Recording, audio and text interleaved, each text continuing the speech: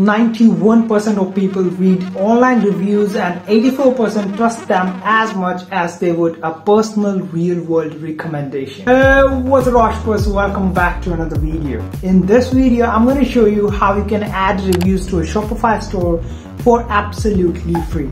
According to a study, negative reviews can affect as much as the positive ones. One study even found out that 82% of those who read online reviews specifically seek out negative reviews. So it gets really important that you have appealing reviews on your website because the moment customer finds something scammy about your reviews, you are giving them a solid reason to not to buy your product and leave your store right away. And moreover, if you do not have reviews on your website at all, there are 63% fewer chances for you to make a sale as compared to a store that has the reviews. So now enough of the stats. Let me show you right away how you can add reviews to a Shopify store. Let's get started. So first of all, you need to come to a Shopify dashboard and click on apps and then click on the apps and the sales channel settings which will take you to a page like this where you need to click on this customize your store which will open the Shopify app store then click on the search apps and write Ali reviews A-L-I-R-E-V-I-E-W-S all these results will show up. We do not have to click on the first two to three because they are ads.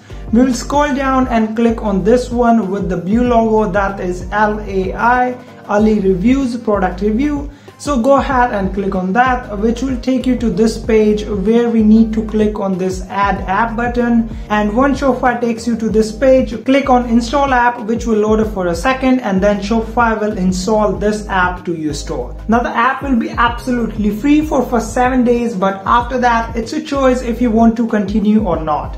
But if you only want to import reviews from AliExpress, then it is going to be absolutely free for you for lifetime. And I'll just show you right now how does that actually work. So once the app has been installed, click on the dashboard, then click on reviews and then import reviews. Now it will show you different options from where you want to import the reviews from AliExpress, from Amazon, from DSers, Oberlo or from any other apps. If you only want to import the reviews from AliExpress, you can choose the free lifetime version and you do not ever have to pay.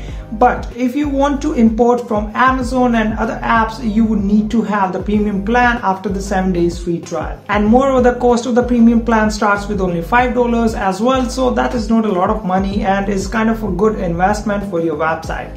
But for now, I'll just show you how to import reviews from AliExpress, which is absolutely free for everyone. So just click on import from AliExpress and then choose the product that you want to import the reviews for. I have already added this example product just to show you. So I'll click on that and then I will enter the product link from AliExpress. Here you need to type in the quantity of the reviews that you want to install. The maximum that you can install with the free plan is 50. So that's pretty enough I think for the reviews.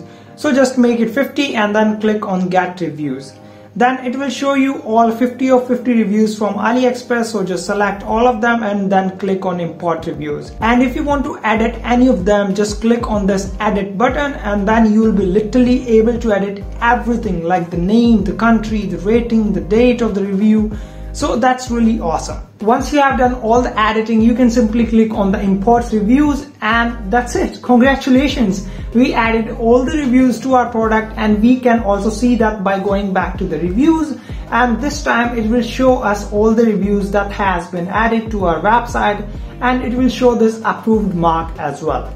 And just to show you, this is how the reviews look on the actual product page.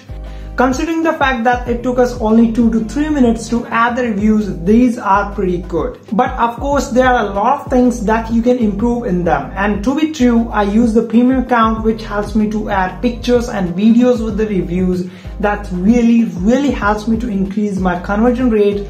But yeah, it's always up to you. In the beginning, if you just want to try the free account, that's good otherwise you can always go with the premium one as well which will give you all these additional premium features as well so that is how you could add reviews to a Shopify store for absolutely free. If you have any questions, you can ask me in the comment section. That's it for the video. I'll see you in the next video. Until then, take care. Bye-bye.